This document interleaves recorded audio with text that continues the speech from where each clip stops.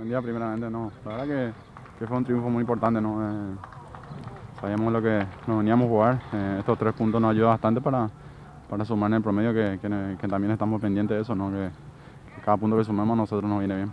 A lo largo del semestre, por otro lado, se ha visto un gran esfuerzo físico por parte de este plantel del 12 de octubre.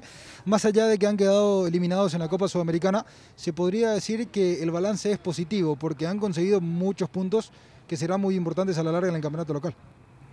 Sí, al tener doble competencia yo creo que, que es mucho más, más difícil, ¿no? Eh, teníamos un plantel que, que no era muy amplio, ¿no? Y bueno, nos jugamos, nos jugamos en las dos cosas y por suerte eh, sumamos también acá en el torneo local que, que era muy importante y, y- también clasificamos en la primera fase de la Sudamericana y bueno, por- por- la- lastimosamente no eliminamos el, partido anterior contra San Lorenzo, pero fue bueno, una, una reflexión importante, contento por, por el sacrificio de todos los muchachos y bueno, estos tres puntos nos, nos ayudan bastante para el promedio, ¿no?